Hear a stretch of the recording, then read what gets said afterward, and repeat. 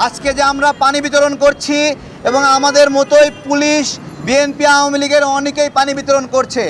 আমার কথা হলো, ইতিপূর্বে এইভাবে পানি বিতরণ করতে হয়েছে কি না আপনাদের কাছে আমার প্রশ্ন, কখনো করতে হয়নি। তাহলে কেন এখন করতে হচ্ছে? কারণ দেশে পানির সংকটের কারণে অতিরিক্ত তাপ উৎকীর্ণ হচ্ছে। নদীর ভিতর দিয়ে পানি প্রবাহিত হচ্ছে না। তার ফলে এই নদীর পানি না থাকার কারণে বাতাসের তাপমাত্রা বেড়ে গেছে। বাতাসে জলীয় বাষ্প নাই, সবাই গরম লাগছে। দেখেন কারও মুখে তেমন একটা ঘাম নাই। আগে আমরা গরম লাগলে ঘামতাম, এখন আমরা ঘামি না কেন? কারণ বাতাসে জলীয় বাষ্প নাই, বাতাস পানি শূন্য হয়ে গেছে। আমার কথা, এই পানি শূন্য কেন হলো? এই পানি শূন্য হয়েছে ভারতের নদীর উপরে আগ্রাসনের ফলে। আমার চুয়ান্ন নদীর উপরে পাঁচশোটি বাদ দিয়েছে। আমার কথা, এইরকম একটা আগ্রাসনের পরেও কেন আমরা ভারতীয় পণ্য বয়কট করছি না? আমার কথা উবায়দুল কাদেরকে, আমরা যখন ভারতীয় পণ্য বয়কট করছিলাম, এই ভারতের দালাল, সে মনে হয় ভারতের পণ্য বিক্রি করার জন্য আমাদের বিরুদ্ধে যুদ্ধ করছিল। আমাদের আমাদের কথা হলো উবায়দুল কাদের কোন দেশের নাগরিক ভারতের পণ্য বিক্রি করার জন্য তার কলিজা ফেটে যায়? আমার প্রশ্ন, ইউরোপীয় ইউনিয়নের আঠাশটি দেশে পাঁচশো সাতাশটি ইন্ডিয়ান পণ্য হয়েছে। এই পণ্যগুলোতে ক্যান্সারের উপাদান পাওয়া গেছে। আমার কথা হলো, এই যে এই যে আঠাশটি দেশ, ইউরোপীয় ইউনিয়ন, তারা ইন্ডিয়ান পণ্য নিষিদ্ধ করল। তাদের সুপার শপ থেকে বের করে দিচ্ছে। আর এইদিকে কাউয়া কাজের এই বিষাক্ত ইন্ডিয়ান পণ্যগুলো আমাদের এখানে বিক্রির চেষ্টা করছে, তার মার্কেটিং করছে। এই কাউয়া কাজের কি আমাদের দেশের ক্যান্সার আক্রান্ত রুগীদের দায় নিতে পারবে? দায় নিতে পারবে? নাকি এই কাউয়া কাদের? এইদিকে ইন্ডিয়ান পণ্য বেচে কমিশন খাবে। আবার বাংলাদেশের নাগরিকরা ক্যান্সার আক্রান্ত হলে ওই দেশে পাঠিয়ে চিকিৎসা করে সেখান থেকেও কমিশন খাবে। আমার প্রশ্ন, এগুলো দুষ্ট, অসৎ রাজনীতিবিদের কারণে দেশের কথা সবার মানুষ নাই।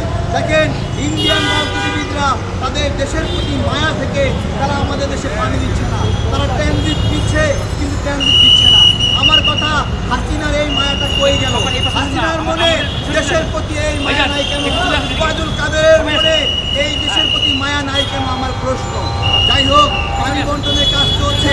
আজকে আমরা ফকিরাপুর এলাকায় গিয়েছিলাম। দোকানদারদেরকে স্পষ্ট বলে দিয়েছি যে আপনারা যদি এই যে ক্যান্সারের উপাদান মিশানো পণ্য বিক্রি করেন, আপনাদের দোকান থেকে ভারতীয় পণ্য আমরা টেনে হিসেবে নামাবো। কেউ ঠেকাতে পারবেন না।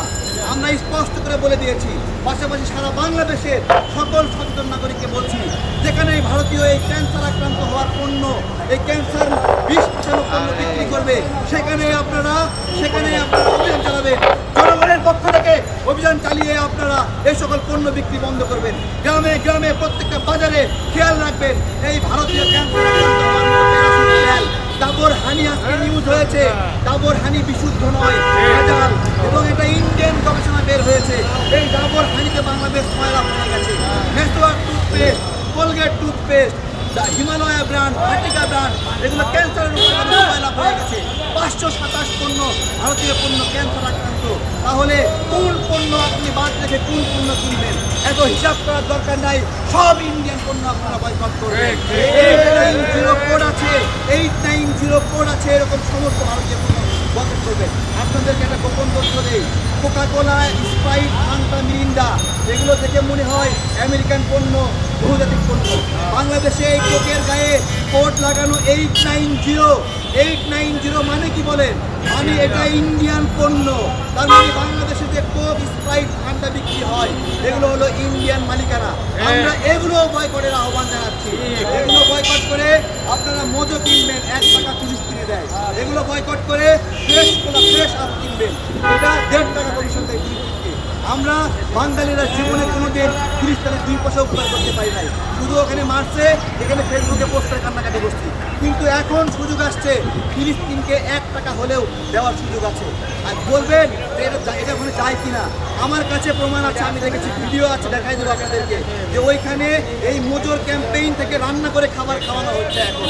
তাহলে যারা বলছে এই টাকা সেখানে যায় না। আবার অনেকে বলে মজো বয়কট। যারাই বাংলাদেশি পণ্য বয়কট করতে বলবে তারাই ভারতের দালাল এটা ধন্যবাদ সবাইকে।